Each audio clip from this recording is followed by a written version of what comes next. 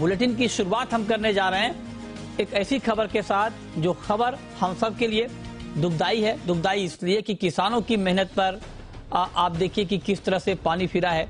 और राजस्थान महाराष्ट्र और छत्तीसगढ़ एमपी के कई इलाकों में बेमौसम बारिश और ओले गिरने से फ़सलों को बड़ा नुकसान होने की आशंका जताई जा रही है। ये तस्वीरें आप देख पा रहे हैं।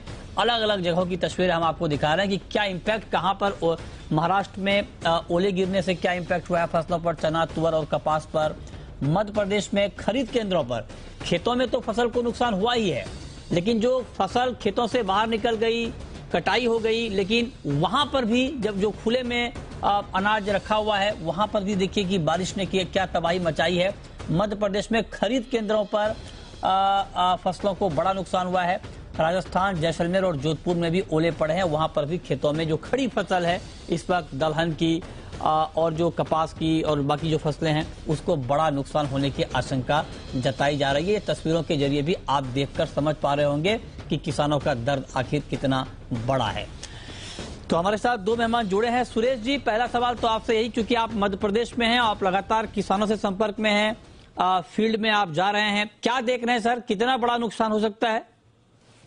महाराष्ट्र में जिस प्रकार से मध्य प्रदेश, राजस्थान में बारिश हुई, ओले गिरे, उससे नुकसान तुअर को हुआ है। हम देखें तो दरियापुर है पराटवाड़ा है, अकोला है, परभणी है और हिंगन घाट है। इन क्षेत्रों में बड़े आकार के ओले गिरे हैं, इससे तुअर को नुकसान हुआ। जो फ़सल खेत के अंदर थी, खले के अंदर जो रखी हुई थी, उसमें ये नुकसान हुआ है। और जो फ़सल आगे आना है, वो और डिले होगी पंद्रह दिन। तो इससे किसानों को जब भी देखते हैं तो कई तरह के नुकसान होते हैं मगर ये जब फ़सल पूरी कंप्लीट हो जाती है और अचानक ओले गिर जाते तो इससे नुकसान होता है। मध्य प्रदेश में भी बारिश हुई है चाहे मीना में हुई है इंदौर में हुई है उज्जैन में हुई है राजस्थान में भी पानी गिरा है। तो किसान ने जो मेहनत की लगभग महीने मेहनत की और उस पर ये अचानक एक दिन में मौसम की मार होने से ओले गिरने से काफ़ी नुकसान हुआ है। ठीक है। इसका किसान को मैंने इसीलिए अभी बीच में भारत के प्रधानमंत्री जी से अनुरोध किया था कि तुअर और उड़द का समर्थन मूल्य पचहत्तर रुपए करे ताकि किसानों को महीने की कम से कम दस हज़ार रुपए पर मंथ की इनकम हो। यही मैंने सरकार से अनुरोध किया। करें कि अलग अलग राज्यों में अलग अलग जगहों पर फ़सलों को नुकसान हुआ है। हमारे साथ आर के जेनामनी भी हैं, आईएमडी के साइंटिस्ट हैं। जेनामनी जी, बहुत स्वागत है सर आपका। आप जरा बताएँ कि सर मतलब मध्य प्रदेश में, महाराष्ट्र में जो और कुछ और जगहों पर जो बारिश हुई है बेमौसम बारिश ओले पड़े हैं उससे फ़सलों को नुकसान हुआ है। लेकिन क्या अभी अब ये हालात ठीक हो जाएँगे या अभी कुछ और आशंका है बेमौसम बारिश की ओले गिरने की?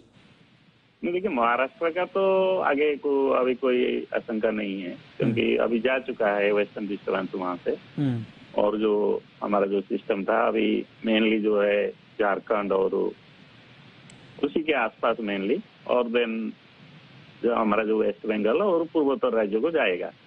लेकिन वही है कि कल का जो हम लोग तो वार्निंग दिया था, तीन से चार दिन पहले येलो और ऑरेंज अलर्ट दिया था कि हेल्थ कम होगा, जो बिल्कुल वैसे ही हुआ।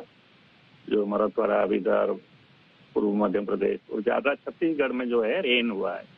छत्तीसगढ़ में ज़्यादा जो इम्पैक्ट आया हुआ है और उसके साथ साथ उड़ीसा जो है पश्चिम उड़ीसा में भी हुआ है। ये अभी अगले चौबीस घंटा तक रहेगा एक्टिव बिहार और उड़ीसा और छत्तीसगढ़ में। इसके बाद सब्सटेंशियली रिड्यूस हो जाएगा। बस, फिर आपको जो सेकेंड स्पेल है, वो पाँच छह जनवरी को आ सकता है। तो आप करें कि जो सेकेंड स्पेल है, वो पाँच से छह जनवरी को आ सकता है। तो आप जो जो किसान भाई इस वक्त हमें देख रहे हैं या जो कारोबारी हैं, जो फ़सलों की खरीद बिक्री करते हैं, हमें देख रहे हैं उनके लिए आपका मैसेज क्या होगा? जब आप कह रहे हैं कि चार से पाँच जनवरी को सेकेंड स्पेल आएगा तो किन किन इलाकों में किसानों को, कारोबारियों को, अनाज को लेकर, फ़सलों को लेकर सावधान रहना चाहिए? देखिए, अभी जो प्रोजेक्शन आया है, ये जो वेस्टर्न डिस्टर्बेंस जो गया, इसमें उम्मीद था कि सेंट्रल इंडिया और पूर्व राज्यों में ज़्यादा अफेक्ट होगा। बिल्कुल ऐसा हुआ।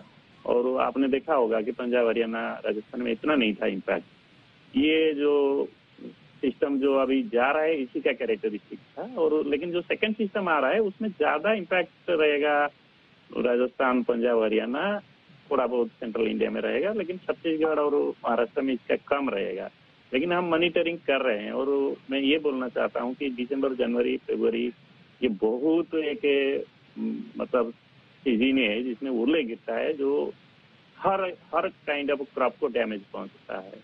चाहे कुछ भी मतलब चाहे फल फूल और उसके साथ साथ सब्ज़ी बहुत ज़्यादा इवन दालों को भी, दाल भी जैसे आया हुआ है, बहुत न्यूज़ आया हुआ है पर्टिकुलरली छत्तीसगढ़ विदर्भ मराठवाड़ा पूर्व पूर्व मध्य प्रदेश, ज़्यादा डैमेज हुआ है एग्रीकल्चर और हमने आजकल, आज तो आजकल तो हम लोग एग्रीकल्चर का भी इम्पैक्ट बोलते हैं कि क्या होगा, और उससे थोड़ा बहुत राहत के लिए आपको क्या क्या करना चाहिए।